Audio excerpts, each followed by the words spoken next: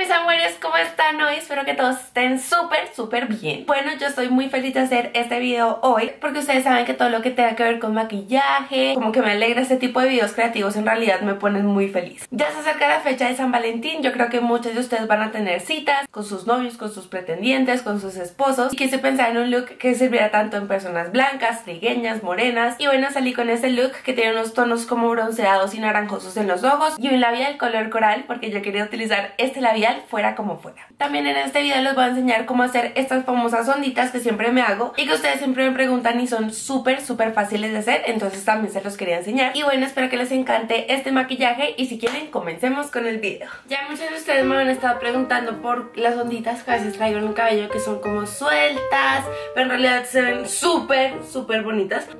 Entonces yo tengo este encrespador o esta pinza, así lo llamamos, bueno esta la compré hace ya muchísimo tiempo, si ustedes me siguen la tengo hace años. Hoy me lavé el cabello y simplemente se secó o lo sequé con un poquito de secador y ya. Este es mi cabello natural, no me he hecho nada más. Lo que voy a hacer es que voy a tomar este protector de calor que es de 3 ml y esto es para que el calor de la plancha o de las pinzas pues no te haga tanto daño en el cabello. Entonces voy a coger esto y lo voy a aplicar así.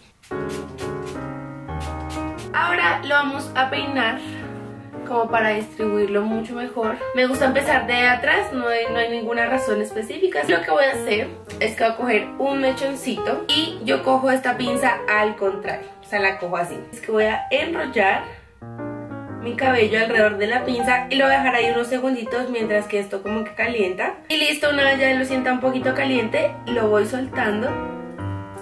Y así es que yo logro mis ondas mucho más suaves. Ahora voy a hacer lo contrario, lo voy a poner adelante y lo voy a enrollar hacia adelante. Ahí está. Y listo, ahora van a esperar ahí un ratito. A mí me gusta a veces sostenerlo en la mano hasta que se enfríe, porque siento que así va a mantener mucho mejor la onda. Y en la parte de adelante vamos a tratar de darle una forma, porque obviamente no nos puede quedar el churco súper formado, pero sí tiene que quedar ondulado. Y vamos a asegurarnos de que el clip quede en la parte de adelante. Ahora vamos a enrollar hacia atrás y vamos a ir bajando la plancha o bueno la pinza. Ahí. Si se dan cuenta yo estoy concentrando el crespo más en el final porque quiero que termine como en punta ya se van a dar cuenta. Entonces si ven termina como en punta. Y el crespo sale desde acá. Ahora voy a hacer rápidamente el otro lado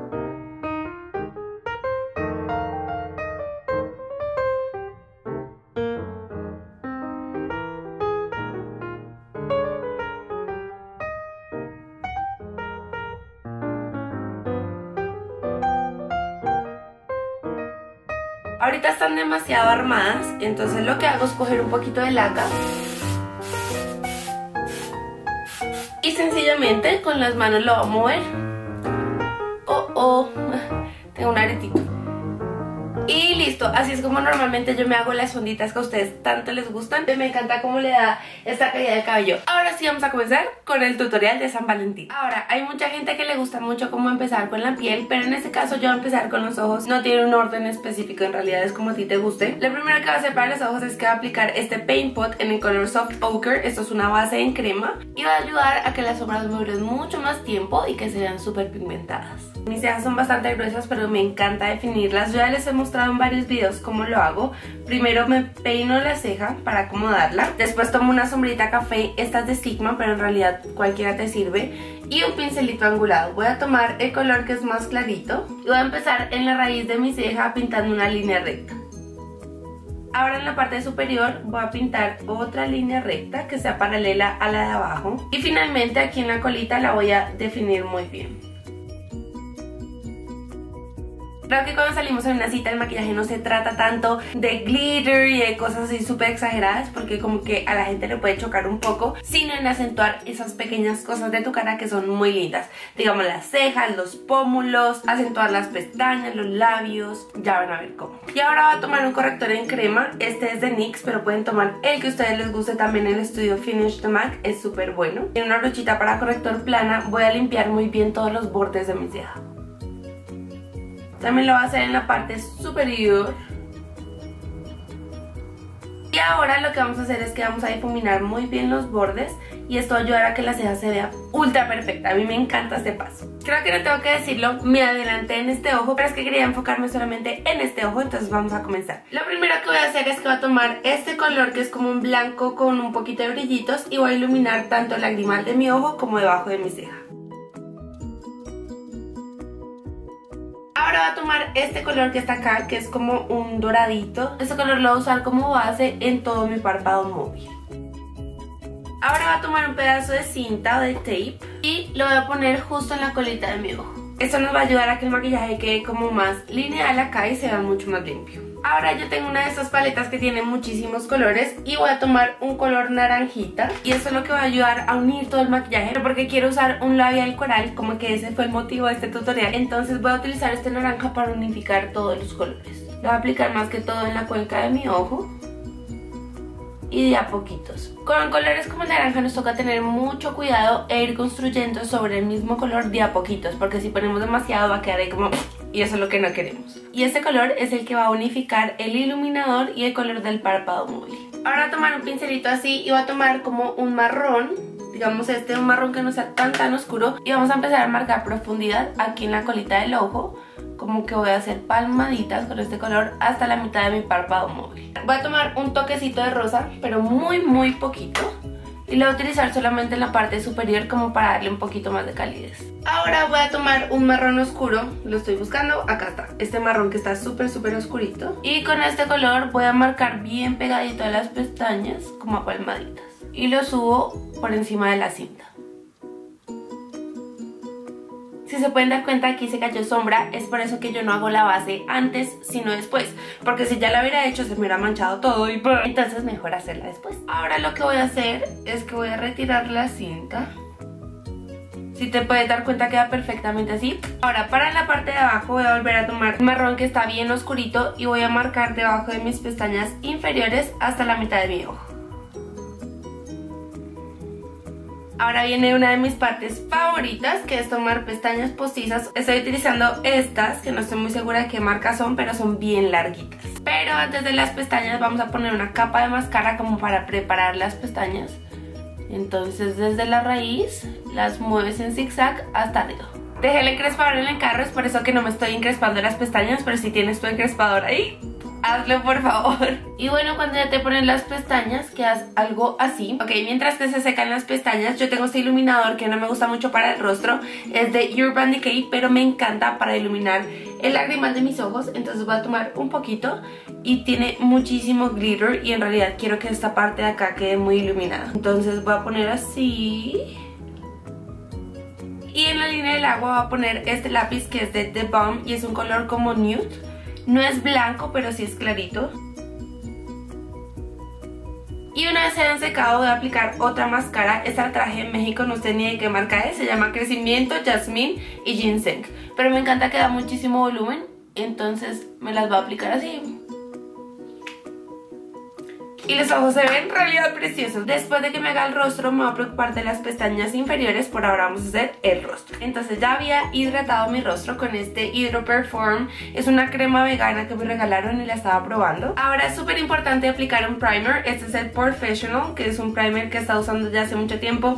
No me encanta, pero es normal, entonces sirve. Bueno, para esto me voy a aplicar un poco en las partes donde usualmente me sale grasita, es la frente, al lado de la nariz, un poquito en el mentón. Esto es perfecto para las niñas que tienen la piel como grasosita. Esto lo que hace es rellenar los poros y prevenir que se agreguen tanta grasa. Bueno, no estoy muy segura de qué base quiero usar hoy, así que voy a usar esta que es la Lumi True Match de L'Oreal. Voy a poner así como dos pumps. Esta es una esponja que es de Real Techniques. Es algo muy parecido a la Beauty Blender y en realidad maquillaje con esponjas es muy lindo, queda un acabado muy lindo. Entonces voy a poner unos puntitos sobre mi rostro y después así como a pequeños toquecitos voy a difuminar esto sobre todo mi rostro. Para algunas personas lo que voy a hacer ahorita tal vez sea demasiado maquillaje, pero a mí me encanta. Entonces voy a hacer un poquito de contornos, que es una técnica que he estado intentando últimamente. Yo sé que no estoy perfecta en eso, pero les voy a mostrar cómo yo lo hago. Voy a tomar este corrector que es de Maybelline y voy a hacer un triángulo debajo de mis ojos. También voy a poner un poquito así, bajando mi nariz y un poquito aquí en el mentón. Y ahora voy a tomar este corrector que es de LA Colors en el color espresso y es un café. Y con esto voy a marcar mis pómulos. Y como yo tengo poquita frente, no voy a marcar la frente, pero sí voy a marcar los lados de la nariz.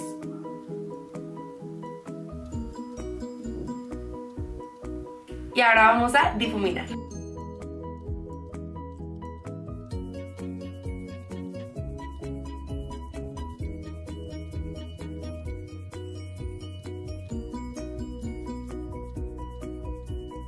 Ok, esto lo hago como una primera capa, ahora me gusta sellar todo. Voy a empezar debajo de los ojos con este polvo que se llama Secret Brightening Powder de Laura Mercier. Lo tomo en una esponjita y me lo aplico debajo de los ojos. La gracia de este nuevo método de maquillaje, del contorno y todo eso es aplicar harto producto y después difuminarlo todo. Voy a tomar esta paleta de contornos de Anastasia Beverly Hills y voy a repasar ese bronceado que ya hice previamente.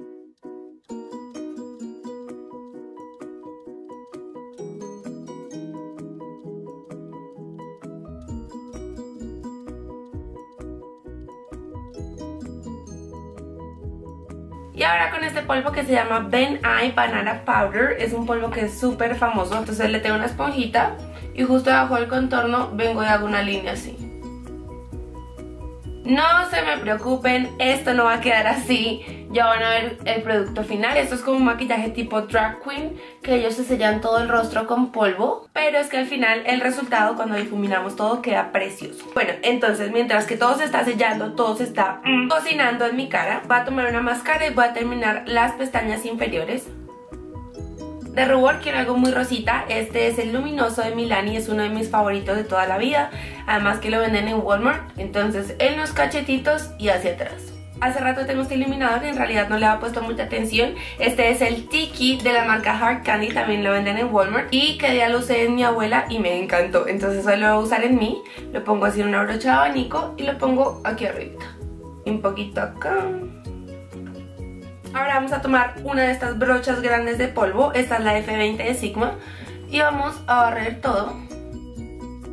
Y listo, como se pueden dar cuenta nos queda el contorno así todo armonioso, la cara se nos ve súper bonita y además no se imaginan cómo van a salir en esas fotos. Salen así todas perfectas. Bueno, ahora de labiales se los juro que saqué como 5 porque no me decido cuál quiero Pero creo que voy a ir con este que se llama Tropic Tonic. Es un coral súper súper fuerte y muy bonito. No tengo lápiz de este color, entonces lo voy a aplicar así directamente.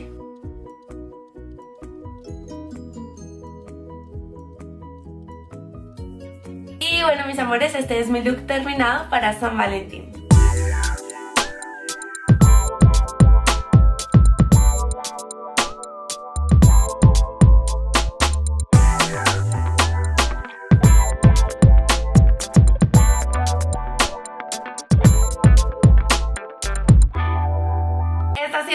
espero que les haya encantado. Me encantaría ver si el 14 de febrero ustedes me pueden mandar foticos de cómo la están pasando en sus citas y todo eso. Aunque no lo crean, para mí es súper importante también estar como involucrada en sus vidas. Deseo que la pasen súper súper rico, ya vamos a ver qué vamos a hacer con Pipe ese día. Creo que muchas veces cuando hacemos de más es de menos, entonces un look así como que sea que pusimos tiempo arreglándonos, pero tampoco estamos muy exageradas, es perfecto. Si les gustó este maquillaje no se les olvide dejarme un like, se los agradecería con todo mi corazón. Todos los links a mis redes sociales se los dejo aquí abajito y también aquí abajo les dejo mi otro canal que tengo con mi novio que se llama Pau y Pipe. En este momento estamos haciendo un concurso de vuelta a clase, entonces si quieren ganarse algunas cositas vayan a verlo. Y no siendo más, nos vemos a la próxima. ¡Chao!